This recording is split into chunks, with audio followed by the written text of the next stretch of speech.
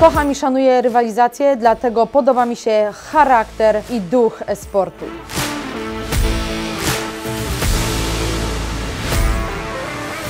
Przez 20 lat e, kariery jako profesjonalny sportowiec nie miałam e, zbyt dużo czasu na realizację swoich innych pasji czy zainteresowań. E-sport zawsze był e, gdzieś w moim życiu, chociaż godziny spędzone na salach treningowych uniemożliwiały mi granie przed komputerem.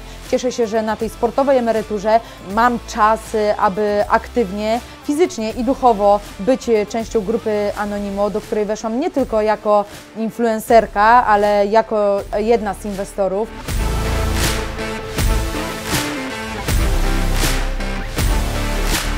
Chcę propagować e-sport wśród kobiet, wśród dzieci i młodzieży, ale e, też edukować je odnośnie mentalu prawdziwego mistrza, prawdziwego zwycięzcy, walki do końca e, i tego, jak e, ważne jest zadbanie o siebie jako człowiek. Dieta, suplementacja czy trening fizyczny, który zdecydowanie przełoży się na finalne efekty w e-sporcie.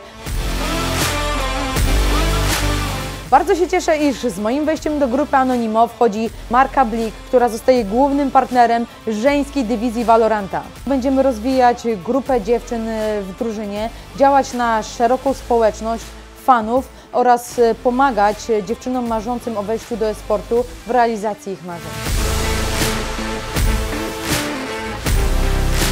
Chcę dziewczynom e, pokazać i nauczyć je, że warto walczyć do końca, że e, bez względu na to, kim jesteśmy, jaka jest nasza płeć, orientacja, kolor skóry czy wyznanie, że mamy możliwość osiągać sukcesy i realizować swoje marzenia na każdej płaszczyźnie. Chcę, aby dziewczyny e, tak naprawdę swoim bytem i to, jaką siłę wewnętrzną nabiorą, walczyły ze stereotypami, że e-sport jest tylko dla mężczyzn, bo to nieprawda, bo w XXI wieku nie ma podziału na zawody męskie i żeńskie.